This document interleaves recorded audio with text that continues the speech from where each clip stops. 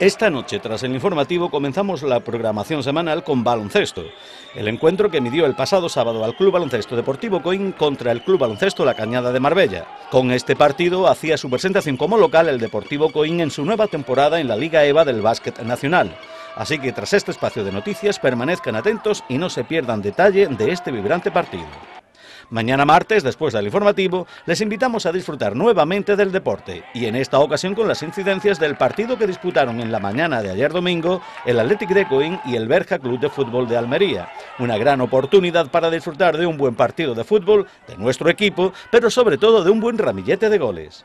El miércoles dejamos la noche para el acto de entrega de los reconocimientos a la mujer rural que con motivo de la celebración de ese Día Internacional se llevaron a cabo el pasado viernes en la sede de Turismo Andaluz en Málaga y donde se reconoció el trabajo diario de 15 mujeres de la provincia donde se incluían en las mismas a dos vecinas de Coín, Maricruz Torres y Ana Evilla.